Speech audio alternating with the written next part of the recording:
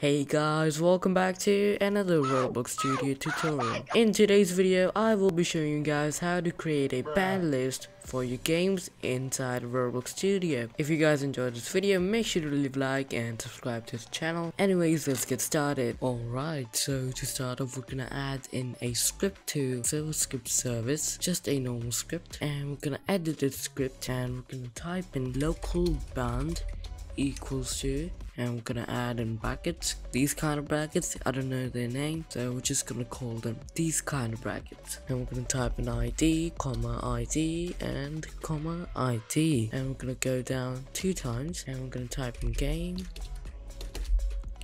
Dot players dot player added and we're gonna type in connect. And we're gonna get function and player inside of that and we're just gonna delete this bracket we're gonna come down and we're gonna type in for i comma v in pairs and bracket band. Gonna add our reason over here so i'm just gonna type in uh, band bozo lol. And now what I'm gonna do is I'm gonna add my old account ID over here. So so let me just copy and paste my old account ID over here. So to get an ID all you gotta do is go onto your target's profile and over here in the link you can see that there are some numbers over here.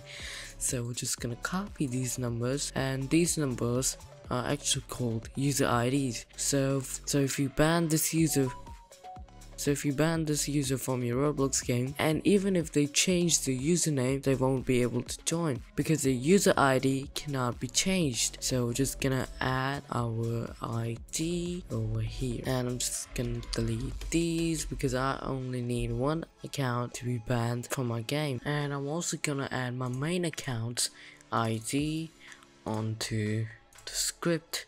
So I'm just gonna type in comma and then my user ID and I'm just gonna close the script now now I'm just gonna test my game real quick and there we go you get kicked because we are banned. If you guys enjoyed this video, make sure to leave a like and subscribe to the channel. And I'll see you guys in the next one. Goodbye.